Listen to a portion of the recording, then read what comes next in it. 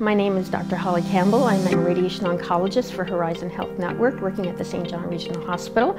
So my specialties are treating genitourinary cancers, which are mainly prostate and bladder, but also I treat gynecologic cancers, a lower GI, skin, and palliative lung cancers. So prostate cancer is the most common cancer after skin cancers diagnosed in males. It occurs at approximately a rate of one in nine men during their lifetime. According to the Canadian Cancer Society, approximately 21,000 men are diagnosed with prostate cancer every year in Canada.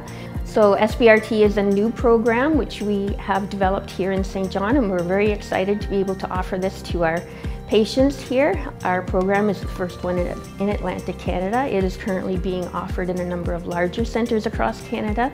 So SBRT is delivering very precise ablative doses of radiation therapy to the prostate.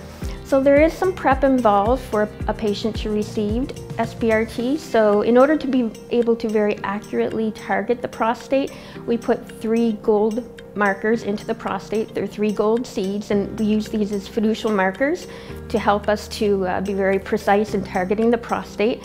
And at the same time, we also put a gel called SpaceOAR Hydrogel. And this is a gel which we insert between the posterior prostate and the anterior rectal wall. And the purpose of this gel is to move the rectum away from the prostate so that when we give the high dose radiation to the prostate, we're minimizing the amount of radiation that's delivered to the rectum to reduce the acute and long-term side effects to the rectum. And that's also a new option that we have for patients. So for SBRT, a patient needs to have a localized prostate cancer and also we would like them to be well enough that they would benefit from treatment of their prostate cancers. So the benefit of SBRT as well as delivering very high doses of radiation to the prostate to ablate the prostate cancer is the treatment is given over five treatments. So instead of having to come multiple times to the oncology clinic for several treatments, uh, the number of visits to the oncology clinic is reduced and that also helps with our healthcare dollars as well.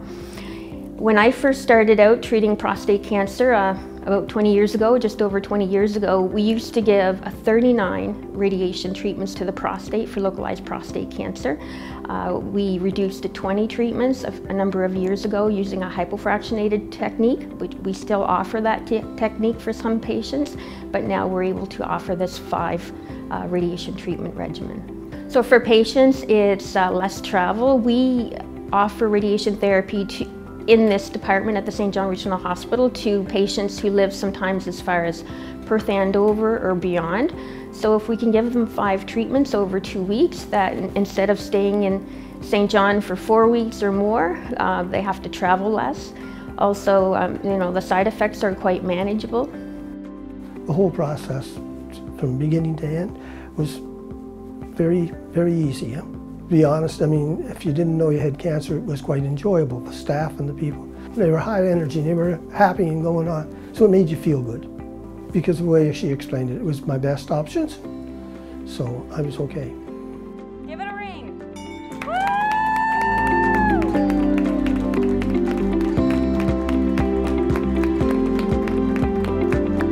So if you are a man and uh, you are worried about prostate cancer, I think it is a good idea to discuss with your family doctor the pros and cons of having screening for prostate cancer.